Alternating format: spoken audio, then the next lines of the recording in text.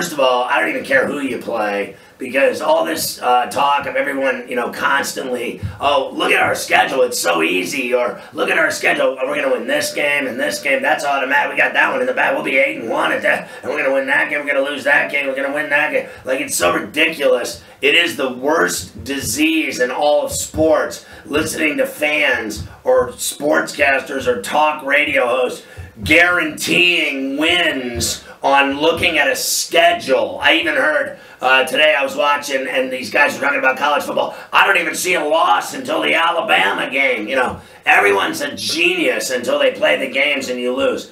First of all, uh, you know, the Raiders. I'm not going to deny that they've got Antonio Brown now, so that's very exciting for everyone. But they were 4 and 12 for Christ's sakes. And now everybody's got him what? Going to the playoffs? I'm not uh, buying into uh, he's going to carry them by himself to uh, the playoffs. Now, look, I think Jon Gruden is definitely going to get them going in the right direction. I think they're going to figure it out at some point and win games.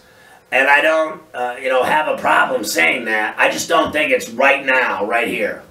I just don't believe that they're just going to go from uh, I really don't. From 4 and 12 to just kicking everyone's ass, and that Carr and Brown are going to light up the league and no one will be able to stop them. I mean, they were one of the most anemic football teams in the league last year.